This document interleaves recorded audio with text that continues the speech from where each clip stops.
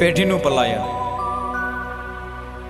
આવતા દસ પંદર વર્ષમાં એક એવી પેઢી સંસાર છોડીને ચાલી જશે કે જેના ગયા પછી ખૂબ જ પસ્તાવો થશે.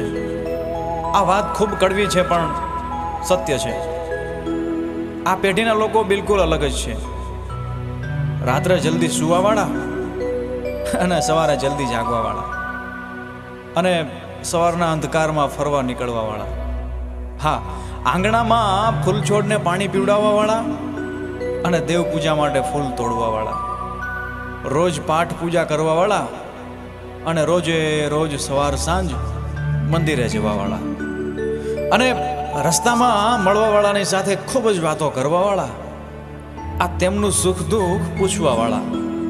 બંને હાથ જોડી અને પ્રણામ કરવાવાળા. તેમજ સ્નાન વગર તો અન્નનો દાણો પણ નહીં લેવાવાળા. તેમનો અલગ જ સંસાર, વાર તહેવાર, મહેમાન, શિષ્ટાચાર, અનાજ, અન્ન, શાકભાજીની ચિંતા અને તીર્થયાત્રા રીતિ રિવાજ અને સનાતન ધર્મની આગળ પાછળ ફરવાવાળા. જૂના ફોનના ડોગલા ઉપર જ મોહિત રહેવાવાળા. ફોન નંબરની ડાયરી મેન્ટેન કરવાવાળા. આ રોંગ નંબર સાથે પણ સરસ વાત કરી લેવાવાળા.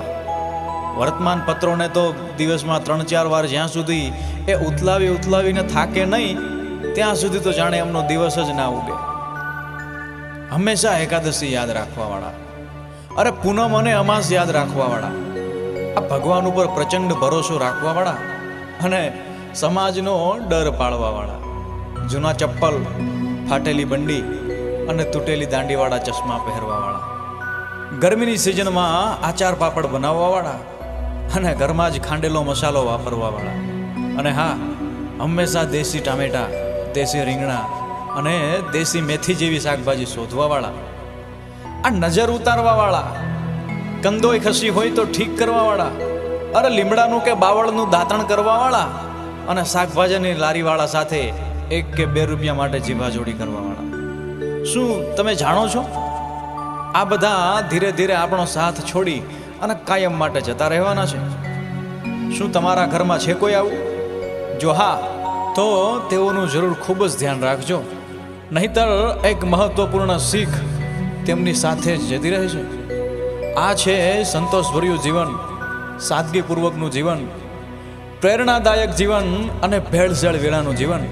આ ધર્મ સતમાર્ગ અને જીવનના સપ્તરંગી ખુશહાલીઓ ઉપર ચાલવાવાળું જીવન, બધાની ચિંતા કરવાવાળું જીવન. તમારા પરિવારમાં જે લોકો વડીલ છે તેમનું માન સન્માન રાખજો. તેઓને અપનાપન મહેસૂસ કરાવજો અને હા, ખૂબ જ પ્રેમ આપજો. કેમ કે સંસ્કાર જ અપરાધ રોકી શકે છે. કેમ કે સંસ્કાર જ અપરાધ રોકી શકે છે સાહેબ. સરકાર નહીં.